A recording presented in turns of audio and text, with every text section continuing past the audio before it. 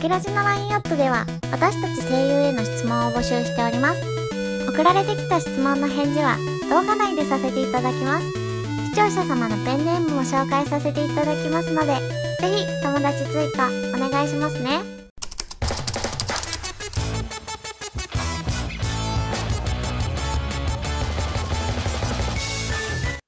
こんにちは、こんばんは、おはようございます。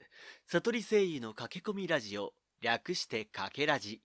本日のメインパーソナリティを務める桜井隆です。最近、昔知り合った女の子と一緒にいたんですが、なんとその子、電車の中でいきなりサングラスを着用し始めまして、大変驚きました。なんでも、そういう病気らしくて、人混みだといつもそうしてるみたいなんです。本当は僕の顔を見たくなかっただけなのではと今も疑っています。それでは、かけらじに来ている質問を紹介いたしますね。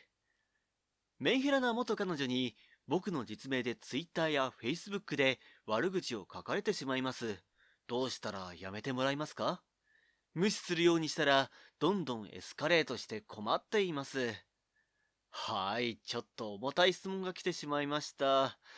エースであるこの僕が答えたいところですが、ここは同じく女の子声優さんに答えてもらった方が良さそうですね。では、新人かけらじ声優のりのさん、あとはよろしくお願いいたします。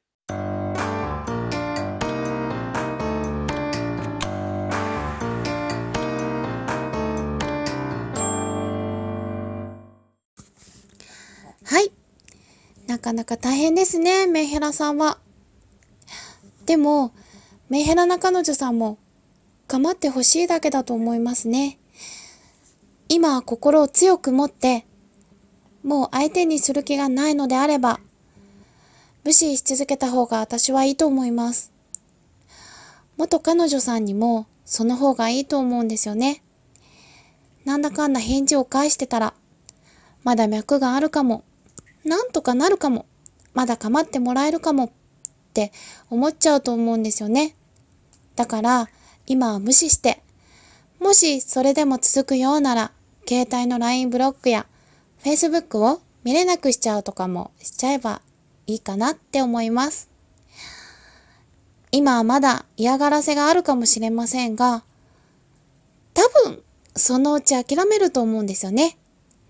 あまりにもひどいようなら、警察になど行ってみてもいいかもしれません。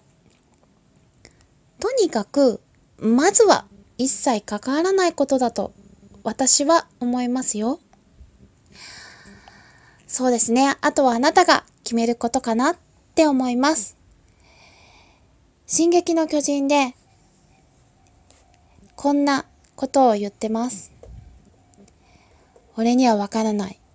ずっとそうだ。自分の力を信じても、信頼に至る仲間の選択を信じても、結果は誰にもわからなかった。だからまあせいぜい悔いが残らない方を自分で選べ。リヴァイ。そんな感じで、タカさん、どうでしょうか？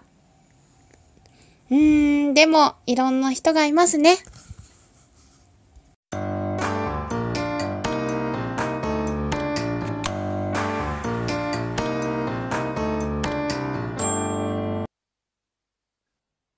はい、リノさん、ありがとうございました。そうですね。無視するというのは、その元彼女にはちょっと気の毒かもしれませんが、こればかりは仕方がないことかもしれませんね。それでは視聴者の皆様、最後までご視聴いただき、ありがとうございました。かけらじでは、皆さんの質問を随時受付中ですので、どんどんメッセージで送ってくださいね。次回のメインパーソナリティは、さて誰になるのかな？次回もぜひご視聴くださいませ。それでは、またね。